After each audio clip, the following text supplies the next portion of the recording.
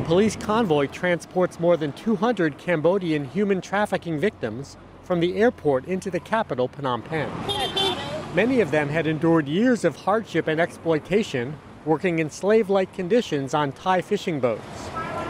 Their ordeal ended last month when the boats they worked on illegally entered Indonesian waters and authorities arrested them. The Cambodian workers told RFA that they went to Thailand because they couldn't find decent jobs at home. But they said conditions on the fishing boats were harsh. When we lived illegally in another country without a passport, it was very difficult. They could arrest us and throw us in jail anytime arbitrarily.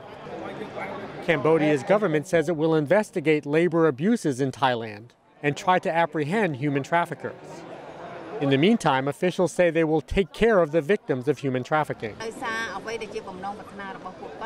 Their wish was to return home. Now we need to assist them and build up their trust toward us. We do not consider them illegal workers. We consider them victims who need our assistance and our help to take them home. Cambodia's labor ministry has reported that about 72,000 Cambodians work overseas, generating about $1 billion in income each year.